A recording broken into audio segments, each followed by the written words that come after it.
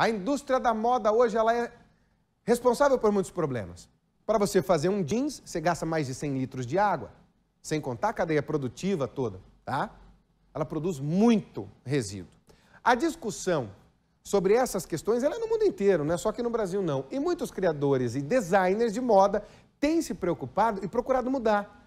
A moda aqui em Curitiba já tem as tais das empresas sustentáveis, que usa até tecido orgânico. Não é diferente isso? Gente, é o que eu sempre falo. Só tem problema porque existe a solução. Se não tem solução, então não tem problema. E esse problema da moda que polui, ele está sendo resolvido. Vamos ver. Nem só de frutas, verduras e legumes é feito o setor de orgânicos do mercado municipal. É, a moda também pode ser livre de agrotóxicos. Muita gente não sabe, mas só o algodão é responsável por 10% do total de pesticidas vendidos no Brasil. O pessoal da prefeitura ele quis mostrar que é possível é, ter a variação além da, do alimento em si, que é o mais conhecido, de orgânico. Tem cosmético, tem a nossa loja de roupa com algodão orgânico, tecido sustentável.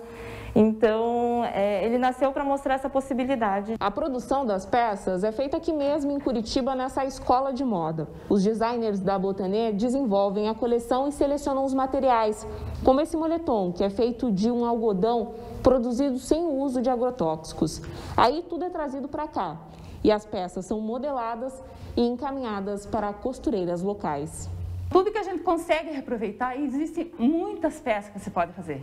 Existe um retalhinho, mas aquele retalho ele pode é, ele não, ele não pode ficar com a cara de patchwork, mas você consegue reaproveitar ele fazendo uma peça com design. Quem também não gosta de desperdício é a Heloísa. Há sete anos, ela trocou a carreira de arquiteta pela de designer de moda, mas se deparou com um problema: o alto volume de lixo têxtil produzido no Brasil. Anualmente, são mais de 175 mil toneladas. É por isso que uma das missões da Reptilia é o resíduo zero. Aqui tem um exemplo, né? Tem as máscaras que a gente fez agora para a pandemia e tem as bolsinhas que a gente faz com os retalhos de produção.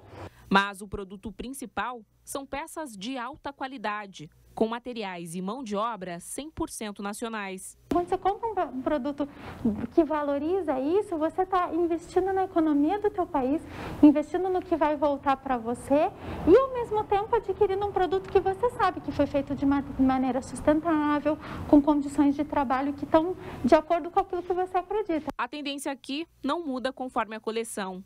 E afinal, se a moda é uma forma de expressão, o que vestimos diz muito sobre nós. A indústria da moda é impactante. O pessoal está criando muita consciência disso. Na pandemia, a gente percebeu que as pessoas que procuravam já estavam com essa mentalidade de mudar o estilo de vida. Se você, enquanto consumidor, fala, eu não vou comprar dessa empresa que não é ética, eu não vou comprar dessa empresa que não respeita o ser humano, não respeita o meio ambiente, não traz um futuro bom para mim, para minha família, para os meus filhos, se você deixa de comprar esse produto, você vai obrigar essa indústria a rever os seus processos fácil.